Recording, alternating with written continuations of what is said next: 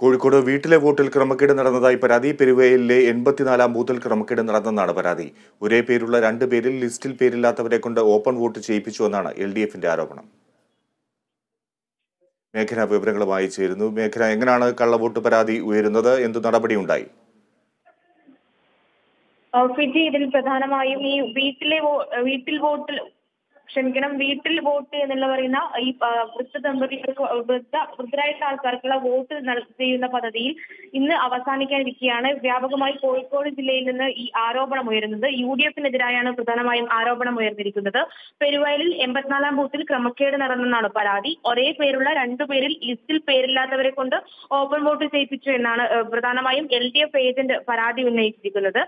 പയ്യാമ്പുറത്ത് ജാനകി അമ്മയ്ക്ക് പകരം കോടാ- കോടാശ്ശേരി ജാനകി അമ്മയെ കൊണ്ട് വോട്ട് ചെയ്യിപ്പിച്ചു. ഈ വോട്ട് ചെയ്ത അമ്മ എൺപത്തൊന്ന് വയസ്സ് മാത്രം പ്രായമുള്ള ആളാണ്. തൊണ്ണൂറ്റൊന്ന് വയസ്സുള്ള ജാനകി അമ്മയ്ക്ക് പകരമാണ് ഈ എൺപത്തൊന്ന് വയസ്സുള്ള ജാനകി അമ്മയെ കൊണ്ട് വോട്ട് ചെയ്യിപ്പിച്ചിരിക്കുന്നത്. ഇതിൽ പ്രധാനമായും ബി എൽ എക്കെതിരെയും തെരഞ്ഞെടുപ്പ് ഓഫീസ് ഉദ്യോഗസ്ഥന്മാർക്കെതിരെയുമാണ് ഇപ്പോൾ എൽ ഡി എഫ് പരാതി ഉന്നയിക്കുന്നത്. ഇവർ യു ഡി എഫിന് അനുകൂലമായിട്ട് വോട്ട് ചെയ്യിപ്പിച്ചു എന്നുള്ളതാണ് പ്രധാനമായുള്ള ആരോപണം. ഇതിലിപ്പോൾ എൽ ഡി എഫ് തെരഞ്ഞെടുപ്പ് കമ്മീഷണർക്ക് പരാതി നൽകിയിട്ടുണ്ട്. ഈ പരാതിയിൽ നടപടികൾ ഉണ്ടാകുമെന്നാണ് അറിയാൻ സാധിക്കുന്നത്. ഓപ്പൺ ഓപ്പൺ വോട്ട് ചെയ്യിച്ച ജാനകിയമ്മയ്ക്കും ഇതിനെ ഇതിനെക്കുറിച്ച് വലിയ ധാരണകളൊന്നുമില്ല. ഈ യു ഡി എഫുകാർ വന്ന് പറഞ്ഞ് വോട്ട് ചെയ്യിപ്പിക്കുകയായിരുന്നു എന്നുള്ളതാണ് പ്രധാനമായും ഇവരും ആരോപിക്കുന്നത്. എന്തായാലും ഇതിൽ നടപടി ഉണ്ടാകാനുള്ള സാധ്യതകളാണ് കാണുന്നത്. തെരഞ്ഞെടുപ്പ് കമ്മീഷണർക്ക് എൽ ഡി എഫ് പരാതി കൊടുത്തിട്ടുണ്ട്. ശരി മേഘന.